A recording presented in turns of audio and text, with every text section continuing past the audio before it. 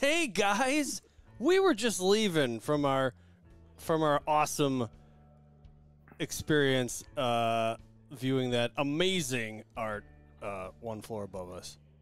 How are you?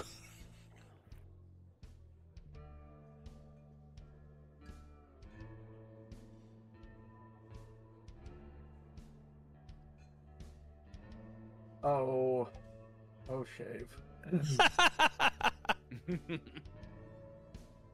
Excellent attempt, Father. You see them all kind of look at each other. Just kind of like